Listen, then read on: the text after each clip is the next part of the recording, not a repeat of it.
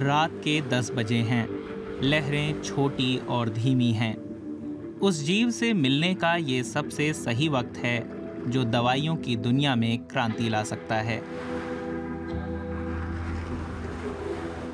समुद्री केंचुआ, वैज्ञानिक नाम अरेनिकोला मरीना। ये 35 करोड़ साल से पृथ्वी पर हैं। ये उंगली जितने मोटे और 40 सेंटीमीटर तक लंबे हो सकते हैं। इनके शरीर में कुछ ऐसा भी है जो हम इंसानों के काम आ सकता है। बालू खाने वाले इन केंचुओं का खून कुछ खास तरह से काम करता है। इसके लिए जिम्मेदार है खून का वो तत्व जो शरीर के अंगों को ऑक्सीजन पहुंचाता है, हीमोग्लोबिन। हम 20 साल से ऐसी चीज़ का इंतज़ार कर रहे हैं जिससे हालात बेहतर हों। अभी तक तो ऐसा कुछ हमें मिला नहीं है तो इससे हमें काफ़ी उम्मीदें हैं। शुरुआत में सब मुझ पर हंसने लगे। वो समुद्री केचुए को गंभीरता से नहीं ले रहे थे। उन्हें लगता था कि हम तो दवाइयों के जानकार हैं और अस्पताल में समुद्री केचुए पर बात करना फिजूल है। ये 25 साल पहले की बात है।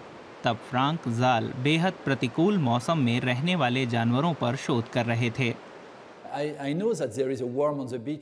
मुझे पता था कि बीच पर ऐसे केंचुए मिलते हैं लुगवर्म अरे निकोला मरीना। मेरे मन में सवाल आया कि समुद्री केंचुआ छोटी और बड़ी लहरों के बीच में सांस कैसे लेता है? इसका तो पता लगाया जा सकता है। ये खालिश समुद्री जीव वैज्ञानिक का सवाल था।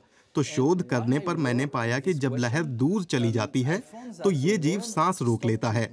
ये सिर्फ़ पानी के भीतर ही सांस लेता है। मछलियों की तरह समुद्री केचुओं के भी गलफड़े होते हैं लेकिन मछलियों की तरह कम पानी में दम घुटने के बजाय लुगवर्म सांस रोक लेते हैं।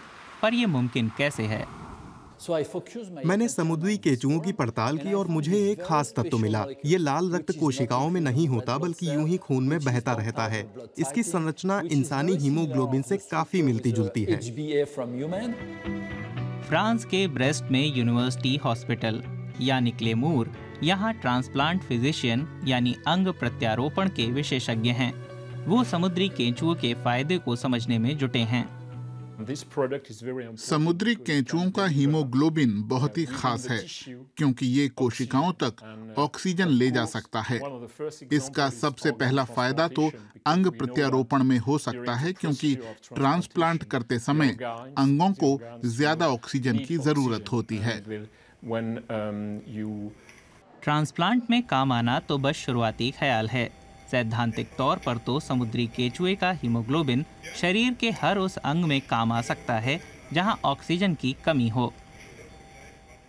ये एनिमेशन दिखाता है कि ये हीमोग्लोबिन काम कैसे करेगा। इंसान की रक्त कोशिकाओं में मिलने वाले हीमोग्लोबिन की तुलना में समुद्री केंचुए का हीमोग्लोबिन 40 गुना ज़्यादा ऑक्सीजन पहुँचा सकता है।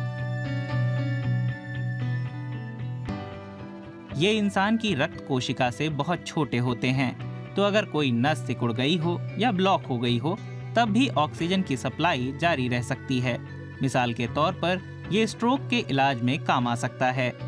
साथ ही, अगर कोई जख्म बहुत धीरे भर रहा हो या कोरोना जैसा संक्रमण होने पर शरीर में ऑक्सीजन की कमी हो जाए, उसमें भी ये कारगर हो सकता है।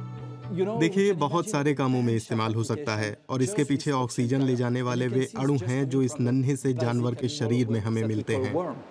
शायद अरेनिकोला मरीना हमारे लिए बस बालू ही नहीं बल्कि और भी बहुत कुछ छोड़ते हैं।